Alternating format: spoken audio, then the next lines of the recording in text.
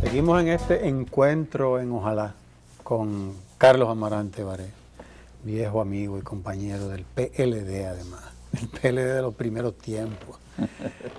Tú has eh, hecho unas admisiones que no son cualquier cosa, cualquier dirigente del PLD no eh, hace estas denuncias, porque prácticamente estás haciendo una, una denuncia.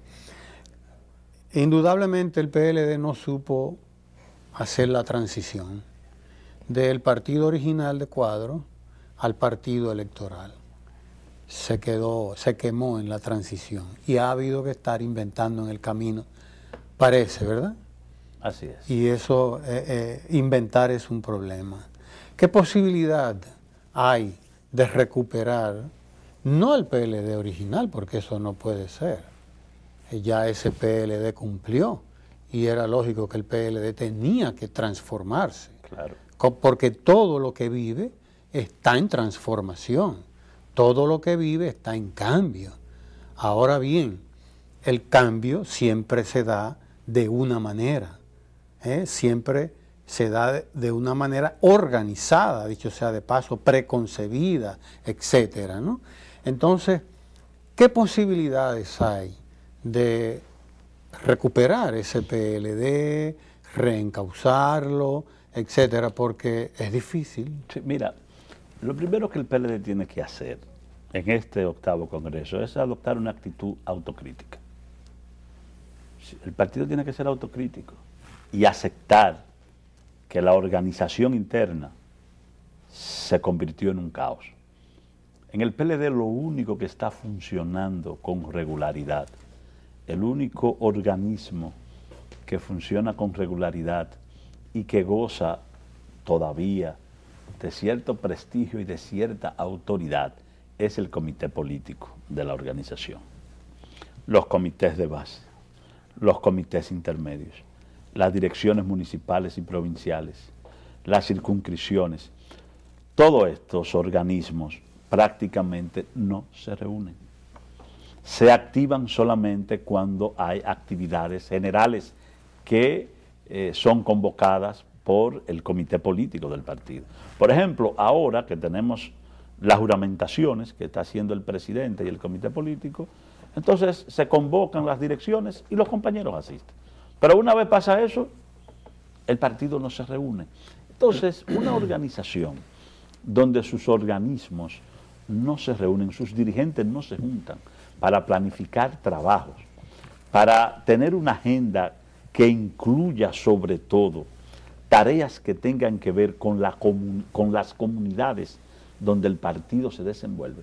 Es un partido que está llamado a convertirse en un partido fundamentalmente y exclusivamente en electoralista. partido para buscar a la gente, que vayan a votar, e incluso no se asume una responsabilidad frente a ese electorado que se lleva a votar. Entonces la organización no puede seguir por ese camino, porque eso no ha explotado en el PLD. ¿Sabe por qué? Porque el PLD está en el gobierno. Y entonces, cuando los partidos están en el gobierno, hay muchas eh, situaciones internas que tú las puedes manejar eh, con recursos del poder. Bueno, que el compañero está guapo. Bueno, pónganle un empleito por ahí para que se contente. ¿Entiendes? Entonces, eh, las mismas actividades gubernamentales, en las cuales una gran cantidad de compañeros participa, pues hace que esa, esa, esa crisis que hay en los organismos del partido se mantenga en estado, digamos que larvario. Larvario. Exacto. Está ahí, está ahí dormida, como un volcán, como la, como la lava de un volcán, que si hace erupción, uno no sabe cuáles serían las consecuencias. Para evitar problemas mañana en la organización, este octavo Congreso, comandante Norris Botello, tiene que abordar autocríticamente todo lo que es el partido en términos organizativos. Hay que dotar a la organización de nuevos métodos pero no solamente nuevos métodos para el funcionamiento organizativo del partido, sino también para comunicarnos dentro del partido. No hay comunicación. Los canales se rompieron hace tiempo. El partido necesita... ¿Los miembros conocen las directivas de ustedes a través de los periódicos? Pero claro. No, no, yo me entero. Yo soy miembro del comité político y a veces me entero de cosas por el periódico. Imagínate tú, de ahí para abajo. Sí. Entonces, el PLD... No solamente se rompió la comunicación entre el mismo partido, sino también con el exterior, Bueno, con, hay un el- con hay la un masa, con hay la un- sociedad. hay un vínculo electoral. Con la sociedad. Un vínculo electoral. Porque Aunque hay un vínculo electoral. Aunque algunos, algunos, Pero eso no es comunicación. algunos postulan, Carlos, Sí. de que volver a ese partido de Bosch, volver a reunir, ya es imposible. O sea, volver a aquella dinámica, que podía funcionar efectivamente porque eh, era un partido pequeño, 13 mil miembros, ¿no?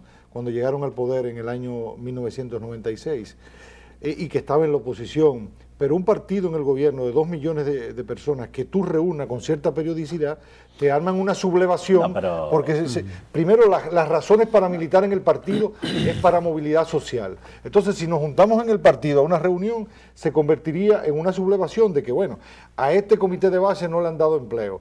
A quien lo tiene es el, el, el presidente del intermedio, se cogió todos los empleos para él y su familia. Y se arma allí No, un- Roberto, porque- una rebelión, porque, no se un trata- motín a bordo. Porque no se trata. ¿Podría ser eso o no es eso? Recuerda primero que es mentira que somos dos millones.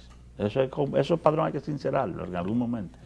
Se comenzó por instrucciones del comité político a hacer eso y se hizo un plan piloto en Bonao. Y en Bonao teníamos 50 mil miembros.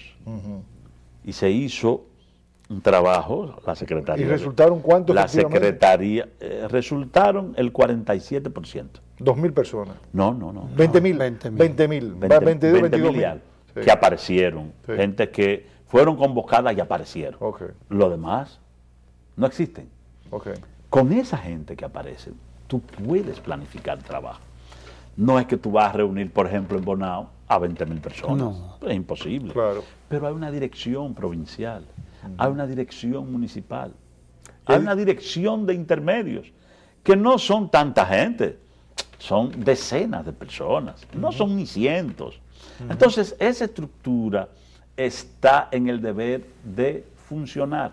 Pero para que funcione, la dirección del partido tiene que decirle qué hacer, Claro. Un plan de trabajo. cómo hacerlo, hacia dónde dirigir políticas. Antes- antes había- Y además,